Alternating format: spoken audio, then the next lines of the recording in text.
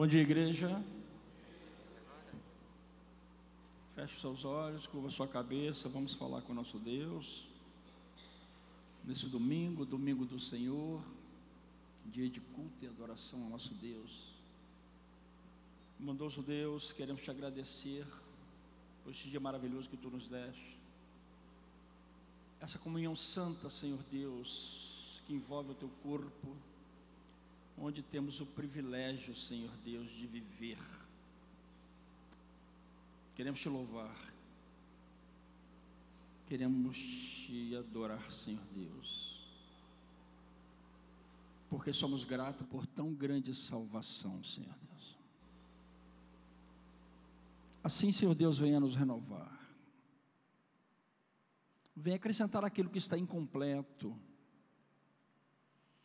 Vem abençoar a nossa caminhada cristã, Senhor Deus, para que possamos chegar na plenitude da santificação que agrada a Ti, Senhor Deus. Fale conosco, Senhor Deus. Nossos olhos e nossos ouvidos estão abertos para ouvir a Tua voz. E assim, fica conosco no nome santo de Jesus, autor e consumador da fé. Amém. Quero saudar a todos na graça e na paz do nosso Senhor e Salvador Jesus Cristo, em especial os Master, os nossos Master, né? Esse mês é o nosso mês. Então eu convido vocês para que possamos falar o nosso tema e a nossa divisa. Vamos lá, uma só voz. Tema: proclamando de novo, proclamando divisa. Agora, quando estou velho, não me desampares, ó Deus. Até as tuas forças a esta geração. E o teu poder Salmo 71, 18. Amém.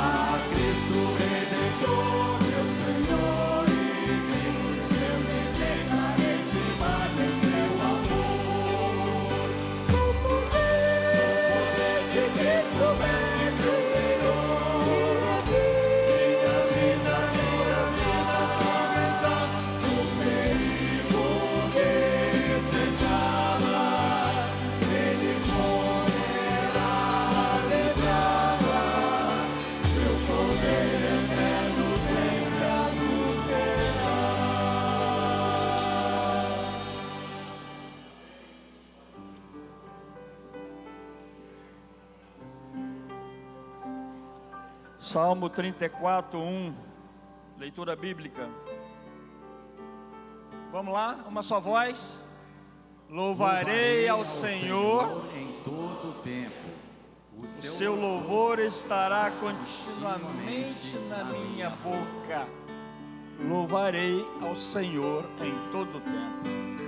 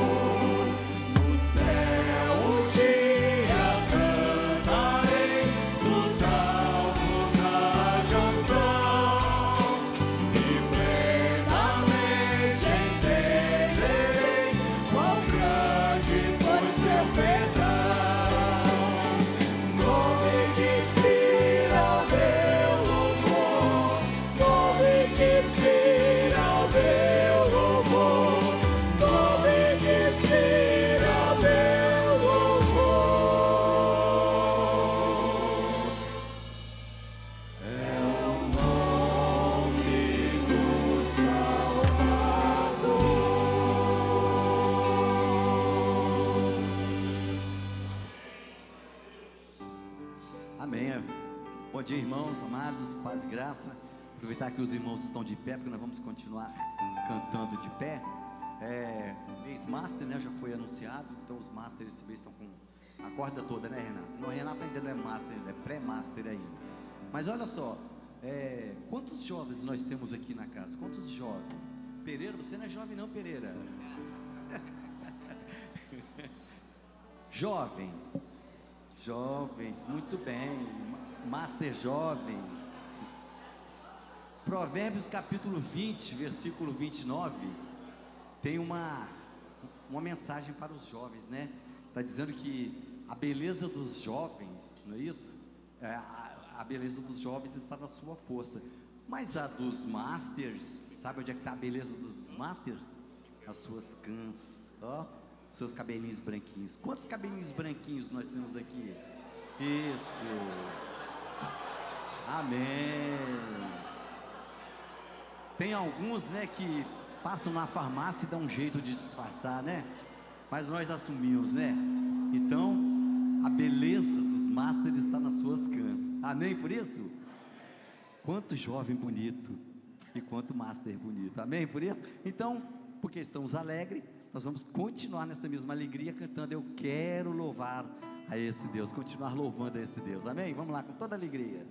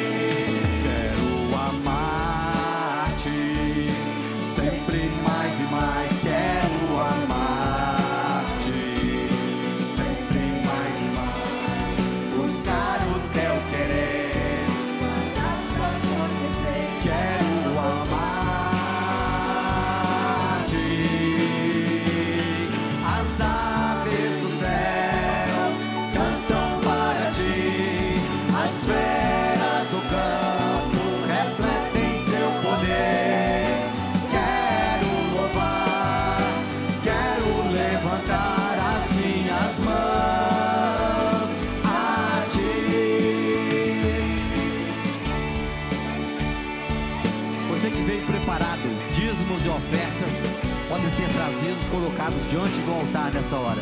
Dízimos e ofertas. Você que veio preparado para este ato.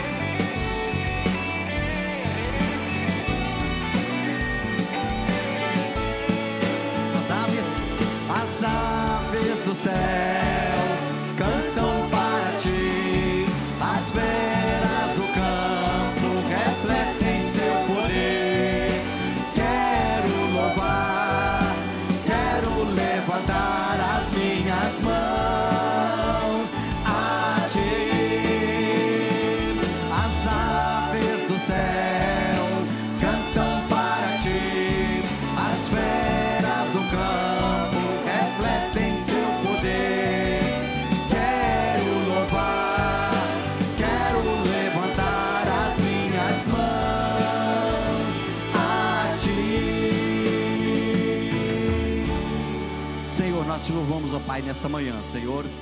O Teu Espírito Santo, ó Pai, nos trouxe até este local, Senhor, e por isso, com toda a alegria da nossa alma, ó Deus, com toda a nossa voz, nós podemos cantar e doar louvores a Ti mais uma vez. Também agradecidos, ó Deus, pelos dízimos e ofertas colocados diante do altar do Senhor. Pedimos que a Tua graça acompanhe, Senhor, a cada um de nós neste dia. Nós oramos assim agradecidos em nome de Jesus. E os amados podem se assentar. Louvado seja o nosso Deus nesta manhã, mais uma vez nos dá o privilégio e a alegria de estarmos reunidos para o louvor da Sua glória. Adoramos ao nosso Deus também através dos nossos cânticos, do nosso júbilo, da nossa alegria. E o fazemos durante toda a nossa vida, toda a nossa caminhada, todo o nosso contentamento. Algumas breves informações a participar com os irmãos, dentre elas na próxima semana, dias 23, 24, 25 e 26, de quinta a domingo, os batistas capixabas vão estar reunidos ali na região de Guarapari, na primeira igreja de Batista de Guarapari, para tratar dos assuntos concernentes à questão das atividades dos batistas capixabas em todo o estado do Espírito Santo. Então, desde lá, Pedro Canário, norte do estado, até ali, Presidente Kennedy, sul do estado, aqui no litoral do Espírito Santo, em Vila Velha, como também lá em Batiba, subindo até a divisa das nossas fronteiras com Minas Gerais. Nós somos 78 municípios, onde nós temos ali em cada município uma igreja batista. Somos mais de mil pastores espalhados em todo o território capixaba e mais de 90 mil batistas em todas essas nossas regiões. Então, na próxima quinta, sexta, sábado, domingo, nós vamos estar reunindo com várias lideranças em vários setores da nossa denominação para tratar dos avanços, das estratégias, do empenho para o avanço da proclamação do Evangelho da Graça em todo o território capixaba. Também nós estaremos tendo já no próximo domingo, dia 26 do mês de junho, no culto da manhã, a nossa assembleia regular.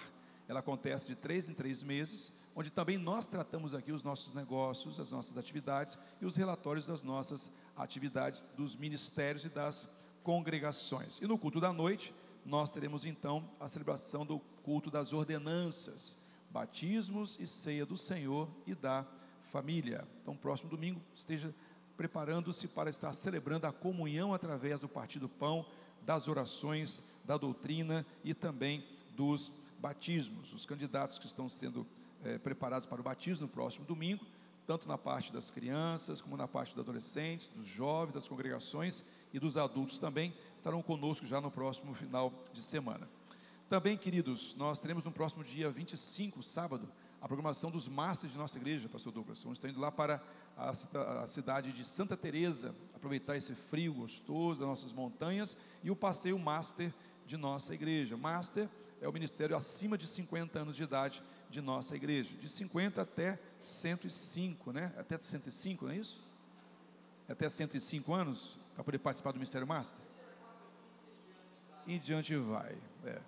Este século é o século da longevidade. Então nós estamos vendo aí muitas pesquisas, muitos investimentos, muitas descobertas a respeito da longevidade. Pessoas vivendo cada vez mais e melhor, em condições melhores também, acima dos 100 anos de idade. Então, no próximo dia 25 também, mas já estão encerradas as inscrições desta programação. Queridos, nossa igreja tem atividades que acontecem durante a semana. E aqui nós temos ensaios que acontecem no Ministério de Música, o Musicarte em nossa igreja, onde você pode aprender o instrumento musical. Vários daqueles que estavam aqui a, participando na área do louvor, na parte da, dos violinos, são alunos também da, dentre eles, alguns são alunos e professores da nossa escola de música. Então, Musicarte acontece de segunda a sexta aqui na nossa igreja, nos horários dos professores para aperfeiçoamento dos instrumentos musicais, do canto e de outras áreas também, teatro, dança, balé e outras áreas. Também nós temos o SET, o Centro de Ensino Teológico aqui em Taparica. É um curso que nós fazemos todas as segundas-feiras, no horário das 19 às 22 horas.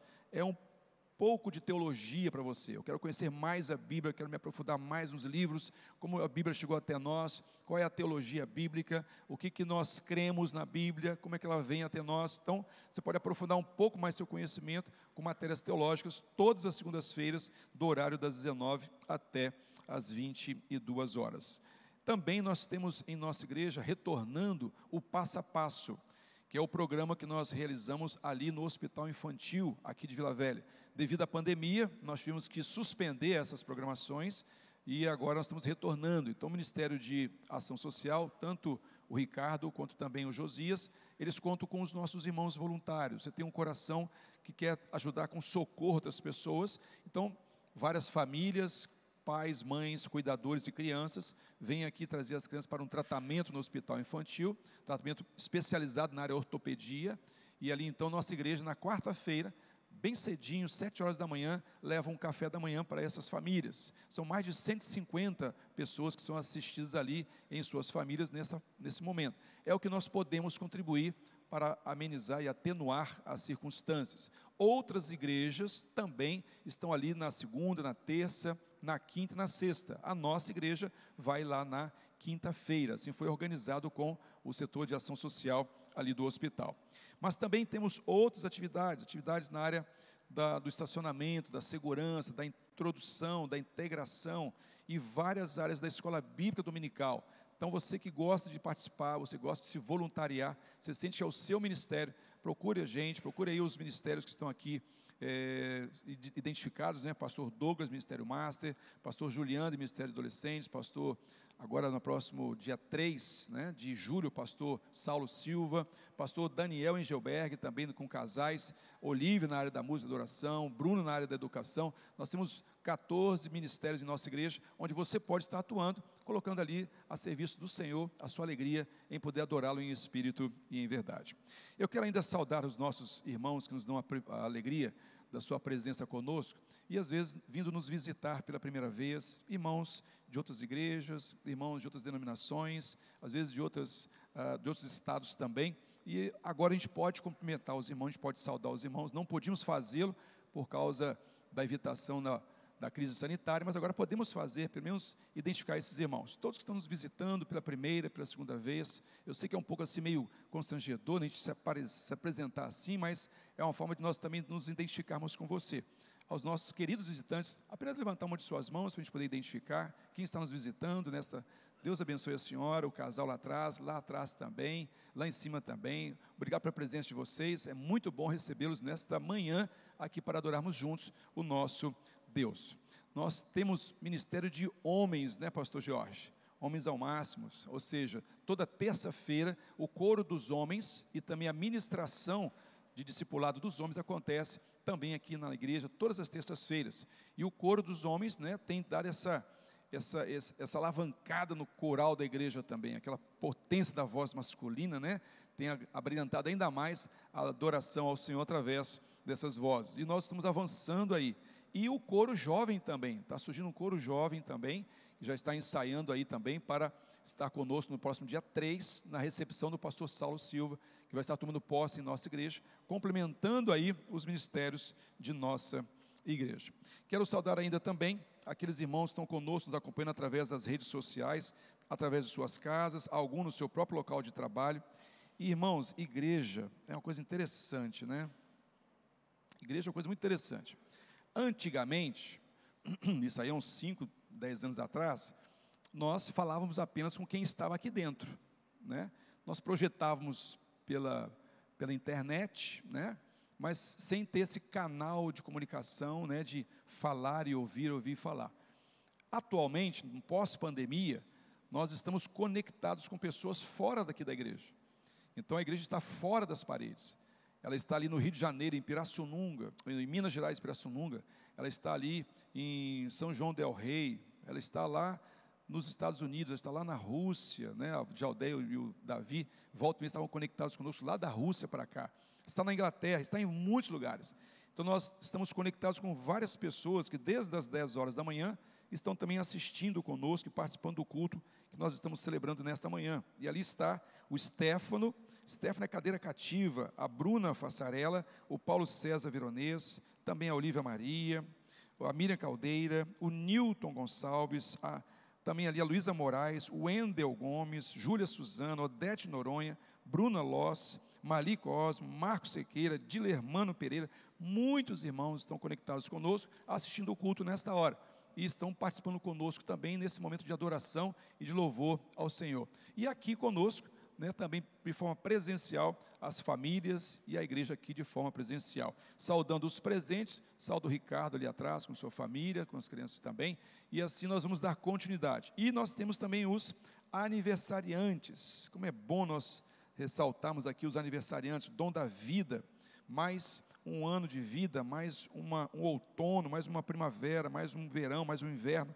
A Dilza, a Miriam Nascimento, o Abner Mendonça, o Guilherme Thompson, o João Marcos, a Roberta Lau, Sônia Mara, Célia Maria, Abigail de Freitas, Elaine Filete, Isabela Portela, Dineuza, Isaura Caldeira, Felipe Faquim, Lucas Possato, Mariana Ramos, de casamento, Paulo Roberto e a Terezinha, Fabiane e também a, o, e também a, a J. Silva, também Kleber e a Jaqueline, Kleber Félix e também a Jaqueline. Esses irmãos, esses três casais, estão aniversariando de casamento. E os demais, aniversário de nascimento. Nós louvamos a Deus pelo dom da vida que Deus tem dado a todos estes nossos irmãos. Quero convidar você a fechar seus olhos, curvar sua fronte, para nós orarmos nesse instante e pedindo a Deus que abençoe grandemente essas vidas e essas famílias que estão agora completando mais um ano de vida na presença do Senhor. Bondoso Deus, em nome de Jesus e debaixo da autoridade do poder que há naquilo que o Senhor fez através do teu santo filho, nos dando a certeza da vida eterna e da salvação e da ressurreição, nós nos aproximamos para te adorar. Nós nos ajuntamos como corpo de Cristo, juntamente com os meus irmãos, para engrandecer e glorificar o teu santo nome. E pedimos ao Senhor que continue a receber a nossa adoração através dos cânticos, através das orações, através da dedicação de dízimos e ofertas, através da vida, através da tua palavra, que todas essas manifestações realizadas por nós sejam agradáveis ao Senhor nesse dia. Agora vem visitar também, ó Deus Espírito Santo, os corações que estão necessitando do teu consolo, necessitando, ó Deus, do teu conforto, pessoas que estão passando por lutas e também por lutos. Ó Deus, visita cada família por motivo de saúde, por motivos de questões relacionais, por problemas financeiros. Ó Deus, seja misericordioso e a direciona, ó Pai, para que encontrem a solução, para que encontrem a cura e a restauração de suas vidas. Ó Deus, nós continuamos pedindo a Ti que nos mostre o nosso pecado, Ó Deus, mostre diante dos nossos olhos o nosso pecado, para que possamos nos santificar em Tua presença, para que possamos ofertar um culto a Ti, como uma noiva que está sendo adornada para o encontro glorioso com seu noivo na volta de Jesus. Assim entregamos a Ti a nossa oração, com perdão dos nossos pecados, em nome de Jesus. Amém e amém. Louvado seja o nosso Deus. Abra sua Bíblia, palavra do Senhor, no livro de Romanos, capítulo 14, verso de número 17.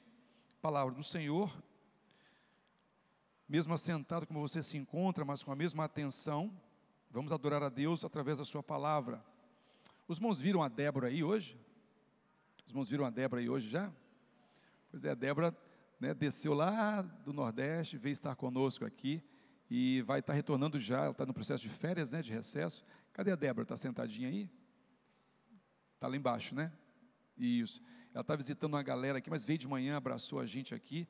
ela está fazendo medicina lá no Nordeste, né? No Nordeste, né? Recife, lá em Recife. Lá onde vai ser a Convenção Batista, lá em Recife. E agora no período de férias escolar, ela deu uma fugidinha para vir estar conosco aqui e louvamos a Deus pela vida da Débora. Palavra do Senhor, Romanos capítulo 14. A palavra de Deus vai nos mostrar que nós precisamos ser mordomos da alegria. Mordomos da alegria. Neste mês de março, também nós estamos enfatizando a mordomia cristã. E desta feita, desta maneira, nós queremos ministrar aos irmãos sobre a mordomia da alegria. Romanos capítulo 14, verso 17 diz: Porque o reino de Deus não é comida e nem bebida, mas justiça e paz e alegria no Espírito Santo. O reino de Deus não é comida e nem bebida, mas justiça e paz e alegria no Espírito Santo. E nesta manhã eu quero abordar sobre a mordomia da alegria. Mordomia da alegria. Meus irmãos, é muito importante que você entendamos que na vida cristã houve uma mudança radical nas nossas formas de ver as coisas e de existir. É muito importante que eu e você entendamos que na vida cristã houve uma transformação da nossa maneira de viver. A palavra de Deus nos instrui dizendo de que aquele que está em Cristo, nova criatura é, nova criação. Aquele que está em Cristo, ele nasceu de novo. Há uma nova história, uma nova trajetória, que não é um ato de mágica, um ato de milagre, transformando água em vinho, saindo de uma natureza e se tornando uma outra natureza, de uma pessoa se tornando uma outra pessoa. Não. Por que, que eu tenho que ser mordomo da alegria? Por que, que eu tenho que ser mordomo dessa transformação? Porque em Cristo Jesus nós somos transformados em outra criatura. Há uma outra geração em nós. Nicodemos, no capítulo 3 do Evangelho de João, ele vai até Jesus. E havia uma pergunta no coração de Nicodemos, que ele não tinha coragem de falar através das palavras, mas estava no coração dele. E Jesus sabia o que estava no coração de Nicodemos, assim como também Jesus sabe o que está no seu coração e no meu coração. Nicodemos saúda Jesus dizendo: Rabi, somente alguém que vem de Deus pode fazer tais sinais que tu fazes. Nicodemos ele reconhece Jesus como sendo alguém que vem de Deus. E Jesus responde essa saudação de Nicodemos dizendo: Nicodemos, necessário é nascer de novo. Não foi essa pergunta que as palavras foram enunciadas na boca de Nicodemos, mas era essa pergunta que estava no coração de Nicodemos. No capítulo 3, verso 1, a Bíblia diz que Nicodemos era um fariseu, príncipe dos judeus. No verso 2 diz que foi ter com Jesus de noite, com receio dos judeus mesmo sendo um príncipe dos judeus, alguém que sabia, e mesmo sendo fariseu, alguém que conhecia a lei, mas ele não compreendia a ação desta lei, não internalizava sobre o seu comportamento essa lei. Nós precisamos aprender a desenvolver a mordomia da alegria. Sim, o apóstolo Paulo diz na carta aos Romanos, capítulo 14, exatamente essa expressão, porque o reino de Deus, o reino de Deus não é comida, o reino de Deus não é bebida, o reino de Deus não é confusão, o reino de Deus não é tudo que nós vemos no mundo que nós vivemos e que nós não queremos. O reino de Deus é paz, O reino de Deus é alegria. O reino de Deus é justiça. Começamos a perceber uma diferença daquele que está em Cristo e que, nem, que não está em Cristo na santificação. Por que, que às vezes no ministério de adoração e louvor, porque louvor é cantar, então é natural que os ministrantes digam: Você está feliz hoje? É natural essa expressão. Você está alegre hoje? Por quê? Porque nós pressupomos que se alguém está em Cristo, ele está na alegria. Não que a vida seja só alegria, a tristeza também, há derrotas, decepções, há fracassos, há desavenças. Mas nós pressupomos que na presença do Senhor, nós trazemos a alegria do Senhor. Então é muito importante que eu e você saibamos de que sim, ao pertencermos ao reino de Deus, nós buscamos a paz, a justiça e a alegria do Espírito Santo nas nossas vidas. Há muitas vantagens, há muitas virtudes para nós aplicarmos e procurarmos vivenciar esta realidade nas nossas vidas. Por exemplo, a Bíblia diz que o coração alegre Faz o quê? O melhor botox que existe é a alegria. A melhor cirurgia para mudar a sua aparência é a alegria. Um coração alegre formoseia o rosto. Mas mais do que isso, a Bíblia diz que uma vida alegre traz saúde aos ossos, traz saúde aos músculos.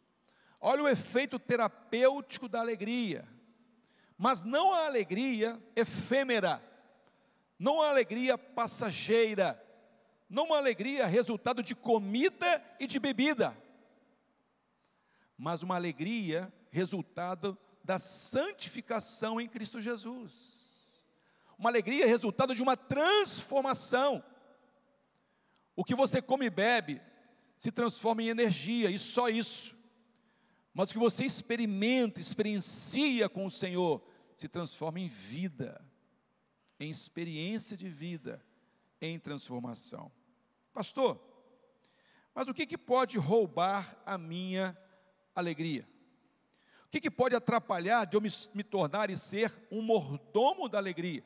Essa alegria que vem do Senhor, como disse o apóstolo Paulo, mas o reino de Deus, eu pertenço ao reino de Deus, um reino que Deus está colocando dentro do meu coração. Sabe, irmãos, às vezes nós precisamos entender claramente o que, que Jesus veio fazer aqui. Jesus não veio ganhar Vila Velha para Ele, não veio ganhar o Brasil para Cristo, não veio, porque se ele fizesse isso, ele teria que obrigar todo mundo a se converter. Então onde é que está o livre-arbítrio? É uma teologia confusa essa. Eu não posso querer converter as pessoas e ganhar todo mundo. Não, não, esse alvo já está fracassado. Eu tenho que aprender a viver a alegria, porque o reino está no meu coração. O reino não é uma igreja, não é um estado, não é um governo, não é. O reino é o seu coração. O texto diz: porque o reino de Deus é justiça, paz e alegria do Espírito Santo. Alegria no Espírito Santo. Então eu sou o reino de Deus lá no meu trabalho, dando aula. Eu sou o reino de Deus lá no meu consultório. Eu não vou transformar todo o meu prédio, toda a minha escola, toda a faculdade federal. Cada um escolhe o que quer, irmãos. Porque se eu pensar diferente, eu vou ter que obrigar as pessoas. E olha que nós já fizemos isso, não é verdade? Houve um tempo que nós dormimos pagões e acordamos o quê? Cristões, né? Brincadeira. Cristãos. Houve um tempo que o imperador exigiu que todo mundo fosse cristão. Isso é conversão? Isso é metanoia? O que, que é isso? É ditadura, é imposição, a igreja não pode pensar assim. Não pode. Jesus não pensou assim. Mas todo aquele que vier a mim, todo aquele que vier a mim, de maneira nenhuma voltará vazio. De maneira nenhuma voltará vazio. Estávamos na classe de batismos para a próxima semana e junto com os nossos irmãos dizendo isso. As pessoas vêm à igreja e pedem batismo. As pessoas vêm à igreja e pedem Jesus. Não é a gente que fica ali na porta com uma caneta na mão, quer batizar, quer batizar, quer batizar, quer batizar. Não é. É o Espírito Santo agindo. Alegria no Espírito, batismo no Espírito, conversão no Espírito. Jesus, na inscrição de João, diz que o Espírito Santo nos convence do pecado, da justiça e do juízo. Isso é uma obra de Deus. A salvação é uma obra de Deus. A santificação é obra minha com o Espírito Santo. O que, que pode roubar então de mim esta alegria no Espírito Santo? Por que, que às vezes eu perco a mordomia do Espírito? Por causa das circunstâncias. Por causa das circunstâncias. É. As circunstâncias ao nosso redor podem roubar de mim a alegria do Espírito e me atrapalhar de exercer diante de Deus exatamente essa mordomia. Sim, ué, eu e você perdemos a alegria nos últimos dois anos atrás. Perdemos ou não perdemos? Eu perdi. Eu perdi. As circunstâncias de uma crise sanitária mundial afetou o nosso coração. A igreja da Ucrânia perdeu a alegria no espírito. E por quê? Porque está em guerra. Está em guerra. Então as circunstâncias podem tirar de nós a alegria, e você sabe disso. E você vivencia isso. Muitas circunstâncias, ou provocadas por você, ou não provocadas por você, tiraram de você a alegria. Tiraram de você a alegria. Pode ser, como já aconteceu comigo, de você, do carro da sua casa até chegar aqui, perdeu a alegria. Não é verdade? Pode ser. Aconteceu alguma coisa lá quando você estava indo para o carro da sua casa, né? Às vezes acontece isso em algumas famílias o esposo já está arrumado, já está pronto, ele tem um compromisso lá na hora de chegar da igreja, e a irmã está se arrumando. A irmã está se arrumando, a irmã está se arrumando, a irmã está se arrumando, e a irmã está se arrumando. Isso tira ou não tira a alegria da gente? Não dá vontade de deixar para trás?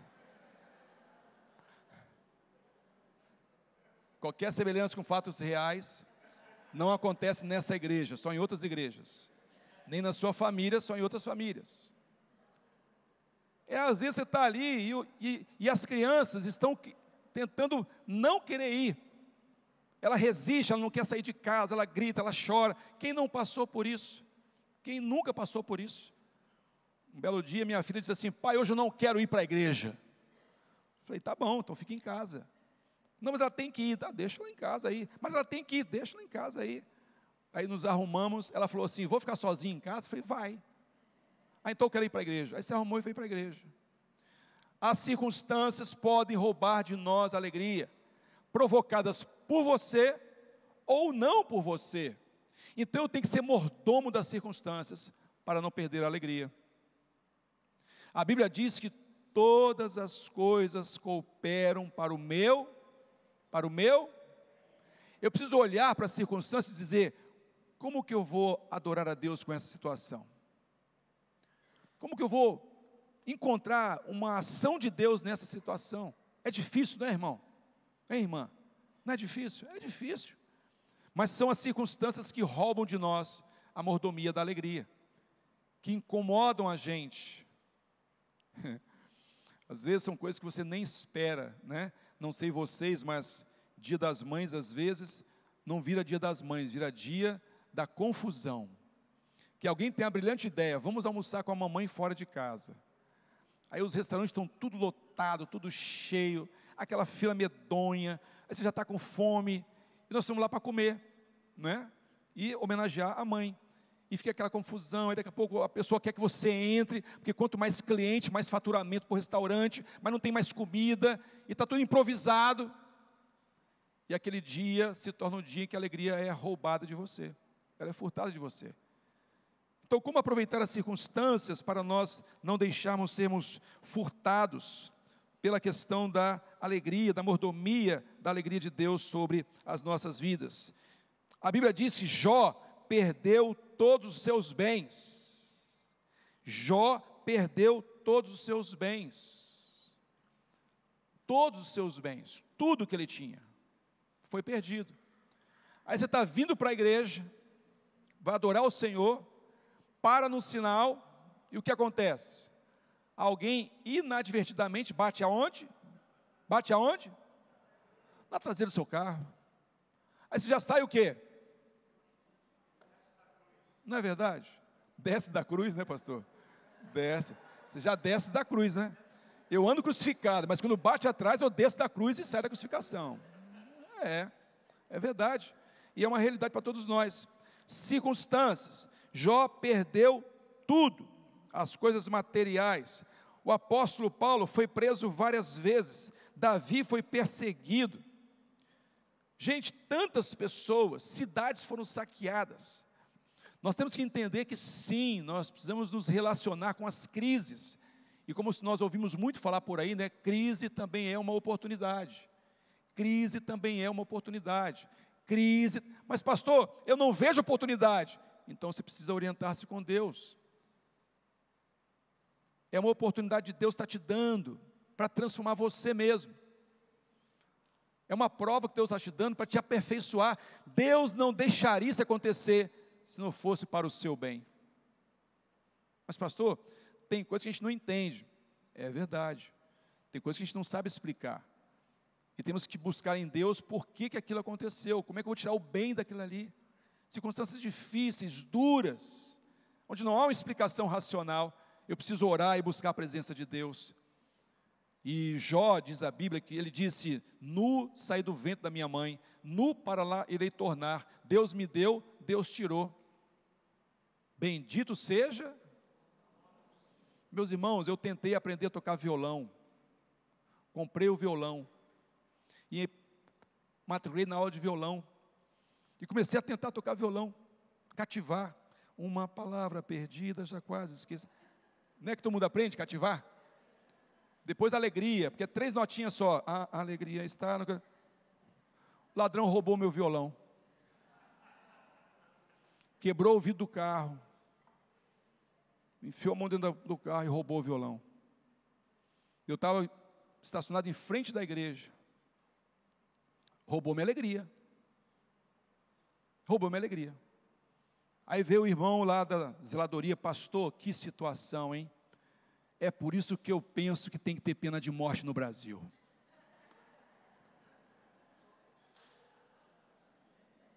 Falei, meu Deus do céu, esse irmão, em vez de me ajudar,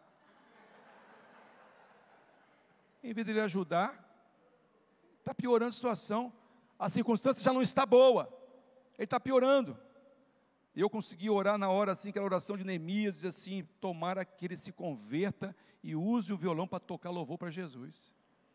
Porque eu dediquei esse violão ao Senhor. Se Deus deixou roubar, dentro do carro, não estava na rua que eu esqueci na rua, estava dentro do carro. Deus deixou ele roubar, roubou, esse cara vai se converter. Tenho certeza disso. E vai tocar na banda da igreja. Aí, Olívia vai levar o violão roubado para a igreja, vai converter. Só pode ser isso. As circunstâncias podem tirar você da mordomia da alegria. Você precisa buscar a Deus. Deus me deu, Deus tirou. Louvado seja o nome do Senhor. Aconteceu isso, Deus está aqui. Isso aconteceu, Deus está aqui. Não há lugar onde o Senhor não esteja. Mas, Senhor, eu não estou entendendo, Senhor. Aplaca o meu coração. Não deixe a circunstância roubar a minha alegria. Mas há uma outra forma de nós também perdermos a mordomia da alegria, que é quando nós lidamos com as pessoas. Né, gente? Lidar com gente, né, irmãos? Né? Lidar com gente é um grande desafio. Não tem lugar melhor do que igreja, pastor Douglas. Aleluia, irmãos. Eu não gostei desse amém de vocês. Porque às vezes a pessoa acha que igreja é para ser todo mundo certinho. É para não ter confusão aqui. Meu Deus, mas na igreja aconteceu isso? É, porque vai ser uma lição para nós, vai ser uma oportunidade para nós. Muitas das vezes, as circunstâncias vêm para me aperfeiçoar. Depois de um certo tempo de ministério, né, pastor Cardoso, a gente começa a falar muito da gente mesmo, né? Porque fala mal de mim mesmo. Nós fizemos uma programação na igreja de vender marmitex, campanha lá da, da igreja. E aí todo mundo comendo, todo mundo comendo. Aí os irmãos venderam mais ingressos que fizeram marmitex. Sabe essas coisas da contabilidade? Que acontece às vezes? Acontece às vezes isso. Fizeram mais ingressos que marmitex. Aí o que, que nós fizemos, né? G, a gente não vai comer. Passa o seu marmitex para os irmãos aí, para ninguém poder ficar. Depois a gente sai como no self-service, já era quase duas horas da tarde. Pode deixar. Aí chegou uma irmã, que veio da praia. Lindo, né, irmão? Está no direito dela, irmãos. Praia domingo é bênção, tá, irmãos? Com a sua família, lazer, é bênção. Aí vem ela, ó, estou vindo da praia, já passei aqui na igreja para pegar meu marmitex. Aí quando ela olhou o marmitex, já estava meio assim, não tão abastecido, sabe? Porque no começo está sobrando, você vai metendo bronca. Quando vai acabando, você não calculou, você começa a baixar um pouco o nível. Ela pegou e olhou assim, mas tem muito arroz aqui. Aí a gente não tinha comido, né, Gê? E ela, pelo menos o arroz, ela ia comer. Mas não tem salada, não tem. Tinha, mas não tinha a quantidade que ela queria, estava tudo lá, nas porções. E ela começou a reclamar, aí foi para cima de Janes e começou a falar mal com Janes. Está vendo, se a culpa é sua. ainda bem que nessa fase minha esposa não dava tapa ainda. Porque, já imaginou? Tá na cara da irmã, ia ser um problema sério. Graças a Deus, ela não tinha esse problema ainda. Amélia, ela não tinha esse problema ainda. Ela estava aprendendo a dar tapa ainda. Ou então foi depois disso, não? Você desenvolveu esse ministério do tapa? Temos que pesquisar. Temos que pesquisar. É. É o trauminha dela, é o trauminha dela. Resumo, saiu resmungando, saiu resmungando, saiu resmungando. Aí Gênesis entrou no carro, chorou, chorou, chorou. E fomos almoçar e perdeu a fome. Agora não quero comer. Olha, tá vendo? Roubou sua alegria. Roubou sua alegria. Pessoas roubam a nossa alegria, se você deixar se você deixar. Se você deixar. Ninguém rouba a sua alegria se você não deixar. Porque ela é sua, não é do outro. É do outro. É interessante como que na Bíblia nós encontramos várias situações assim. Tem vários episódios de Geazi com Eliseu.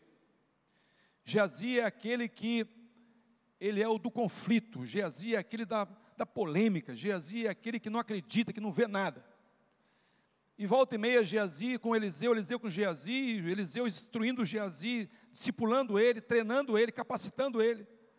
Em dado momento, Geazi chega para Eliseu e fala assim: Eliseu, nós estamos perdidos. Eliseu diz: Por que, Geazi? Porque o exército nos cercou, estamos totalmente cercados.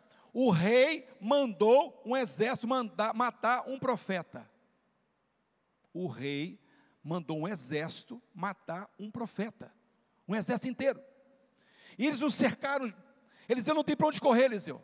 Nós estamos perdidos. Ele diz: Calma, Geazi. Você não está vendo, não? Geazi, o que, que você está vendo que eu não estou vendo? O exército de anjos do Senhor, que está atrás do exército do rei. Olha lá, Geazi. Eu não estou vendo, não estou vendo, não estou vendo, estava desesperado. Então Eliseu ora e diz assim: Deus, abre os olhos dele para que ele veja. Deus abre os olhos de Geazi, e Geazi vê o exército de anjos atrás do exército do rei. Para você não perder a sua alegria, mostre para as pessoas aquilo que você está vendo. Há coisas que só você que vê. Porque assim Deus operou no seu coração. Assim é o fruto do espírito da alegria no seu coração. Mas os outros não vão ver diante das circunstâncias. Você precisa pedir a Deus para mostrar para eles aonde está o poder de Deus. E aí a alegria não sai no seu coração e invade o coração das pessoas. E Deus vai ser adorado pela sua alegria. Porque o reino de Deus não é comida e bebida, mas é paz, justiça e alegria no Espírito Santo. Não deixe as pessoas roubarem a sua alegria. Fale com Deus. Peça a Deus para abrir o olho daquela pessoa, o seu entendimento, a sua compreensão. E para nós finalizarmos, além de que as circunstâncias tiram a nossa alegria, além de que as ocasiões em que nós podemos ser levados a circunstâncias que estão para além, há uma coisa dentro de você que tira também a alegria. Circunstâncias estão fora de nós, pessoas estão fora de nós, mas se você for ansioso, se você for ansiosa, mas pastor, ansiedade é bom, sim, ansiedade é bom, mas se essa ansiedade ultrapassar um certo nível e limite, que subtrai a minha alegria, ela está fazendo mal a você. Ansiedade é bom, desde que essa ansiedade mantenha você conectado, ligado, antenado, estimulado, motivado. Mas quando essa ansiedade começa a sabotar você, ela vai roubar a sua alegria. E aí depende de você lidar com isso. Ah, pastor, mas eu sou ansioso, eu sou ansioso, eu sou assim mesmo. Meu irmão, minha irmã, quando eu vim para este mundo, eu não acreditava em nada. Hoje eu sou Gabriela, Gabriela Aie, meu camarada. Eu nasci assim, eu cresci assim. Eu vou morrer, vai morrer mesmo, irmão. A ansiedade está matando as pessoas o Brasil se tornou o país mais ansioso do mundo. Aí irmão diz, mas também, pastor, não é para tanto, né? Olha a situação do nosso país. Sim, mas como que você está contribuindo para mudar isso? Como nós estamos fazendo isso? Buscando soluções ou sendo o problema? Buscando soluções ou sendo o problema? Buscando soluções ou sendo o problema. A ansiedade tem roubado a alegria das pessoas. A ansiedade tem impedido as pessoas de poder compreender e ver a glória de Deus. É verdade, nós precisamos estar atentos às coisas da vida, sim, sim, mas as coisas da vida não podem se resumir a comer e beber. O reino de Deus é muito mais além do que isso comida e bebida. Eu preciso buscar a paz, a justiça e a alegria no espírito. Então eu tenho que ser mordomo sim desta alegria que começa em mim, que extrapola nas circunstâncias, que muitas vezes envolve pessoas. A preocupação com o futuro, é legítima. É legítima. Emprego, estudo, casamento, filhos, saúde, finanças. Mas a ansiedade é o mal do século. Eu não posso trocar essas preocupações legítimas pela ansiedade. Do contrário, eu vou me sabotar. E aí eu tiro a alegria do coração. O que acontece com o meu rosto? O que acontece com o meu rosto? Começa a mudar. Com a minha saúde física, começa a se afetar. Aparece uma dor aqui, uma dor ali, uma dor acolá. Então é muito importante que você entendamos de que eu preciso ser mordomo da alegria alegria no Senhor é a nossa força. Alegria no Senhor é a nossa força. Pastor, então as circunstâncias tiram de minha alegria? Tiram. As pessoas tiram de minha alegria? Tiram. E eu mesmo tiro de minha alegria? Tira também. Então o que, que eu preciso, pastor? Você precisa ver as coisas do ponto de vista de Deus todas as coisas cooperam para o meu bem, é o que Deus falou para nós. Não andeis ansiosos por coisa alguma, é o que Deus falou para nós. Olha para o seu irmão, para os erros dele, com misericórdia. Jesus estava naquela cruz. Ele olhou para as pessoas e disse: Pai, perdoa eles, eles não sabem o que fazem. Quando você olhar para o seu filho ou a sua filha e perceber que ela não está compreendendo os propósitos de Deus para a vida dela, diga: Pai, perdoa meu filho, perdoa minha filha. Ele não sabe o que está fazendo. Você está enxergando, você está sentindo. Deus falou com você, mas não abriu os olhos dele ainda e dela. Quando você olhar para alguém no seu trabalho, que está te perseguindo, que está te prejudicando, ore por ele e diga: Pai, perdoa ele. Está me perseguindo, está me criticando, mas ele não sabe o que está fazendo.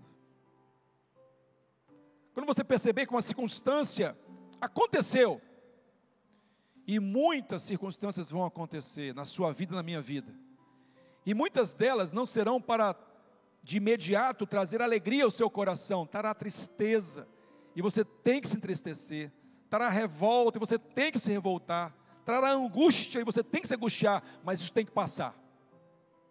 Isso tem que passar. E trazer de volta a alegria do Senhor ao seu coração. Meus irmãos, nós precisamos avançar o ano 2022, porque muito há de Deus a se realizar na sua vida e através da sua vida mas você precisa ser mordomo da alegria, porque assim pertence àqueles que estão no reino de Deus. Não é um reino apenas de comida e bebida, mas de paz, justiça e de alegria no Espírito Santo. Feche seus olhos, curva a sua fronte. Fale com Deus agora o que, que tem tirado a sua capacidade de ser mordomo da alegria. Fale com Deus agora, Senhor, eu preciso que o Senhor me ajude a olhar para a minha vida e encontrar caminhos orientados pelo Senhor, para que eu possa ser mordomo da alegria do Senhor na minha vida. Mordomia essa que vai abençoar pessoas, mordomia essa que vai mudar ambientes, mordomia essa que vai transformar a minha vida na presença do Senhor. Eu pertenço ao teu reino, Senhor, e eu preciso da alegria do Senhor na minha vida. Bondoso Deus, em nome de Jesus. Aqui viemos nesta manhã mais uma vez, estar em tua presença e buscar ouvir a tua voz aos nossos corações. Mas de domingo passado até ontem, muitas coisas aconteceram que vieram roubar a alegria do Senhor no meu coração. Situações que não foram solucionadas ainda, que os meus olhos não veem um caminho de solução, mas eu creio que o Senhor está preparando o caminho de solução. Eu creio que o Senhor já está se levantando e colocando os teus mensageiros, os teus instrumentos para abençoar a minha vida. Porque eu não posso deixar que as circunstâncias tirem do meu coração a alegria do Senhor. Senhor, há pessoas que não estão enxergando o que é ser do reino de Deus Há pessoas que não compreendem o que é ser o reino de Deus, não é apenas comida e bebida, é muito mais do que isso. Não é apenas fazer, é ser também do reino de Deus. Então abra os olhos delas, Senhor. Elas não sabem o que fazem, perdoa-lhes, Pai. Mas eu peço perdão também, porque muitas vezes eu também não estou enxergando, e preciso enxergar do ponto de vista do Senhor. Como fizeste com Geazi, na oração de Eliseu: Senhor, abre os olhos, abre os meus olhos, Senhor, abre os olhos dos meus irmãos, abre os olhos das pessoas ao meu redor. E, Senhor, que a ansiedade, que as preocupações, que as questões futuras e presentes não possam me tirar a mordomia da alegria, mas que eu possa colocar isso diante do Senhor Jesus Jesus disse: Não andeis ansiosos por coisa alguma, antes as minhas orações sejam levadas diante do Senhor. Pai, nesse instante, eu estou levando a Ti a minha oração. Nesse instante, os meus irmãos estão com seus pensamentos voltados para os seus pedidos, para os seus clamores. Nós estamos obedecendo a Tua vontade, Senhor. Estamos colocando nossas petições no Teu altar e o Senhor possa trazer a tua resposta, trazer a tua operação a começar na minha vida, para que eu possa atuar nas pessoas e nas circunstâncias ao meu redor. Recebe ó Deus, a minha oração e as nossas orações com o perdão dos nossos pecados, em o nome de Jesus. Amém e amém.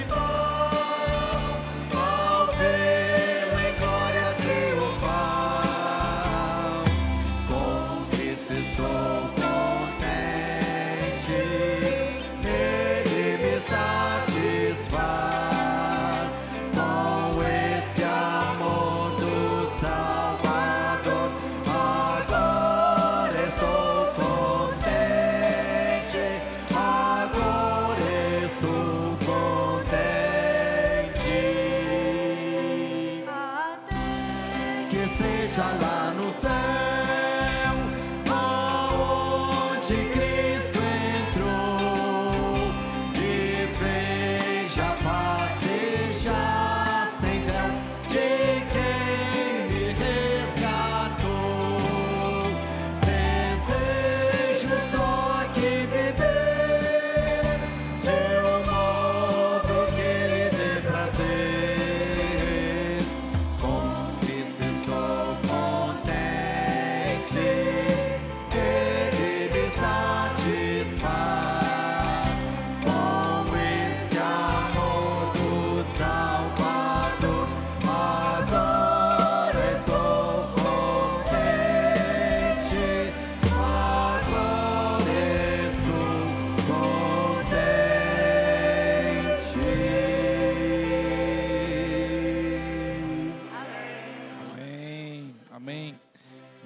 está do seu lado diga assim: Eu te perdoo porque você não sabe o que faz. Eu te perdoo, você não sabe o que faz. Eu te perdoo. Aproveita aí, irmão. Eu te perdoo, você não sabe o que faz. Fala para sua esposa: Eu te perdoo, você não sabe o que você faz, não sabe o que você faz. Amém? Queridos, logo mais à noite, às 19, ah, perdão, às 18 horas, pastor Judson estará conosco, ministrando a palavra do Senhor. Às 19h30 estaremos louvando a nosso Deus também.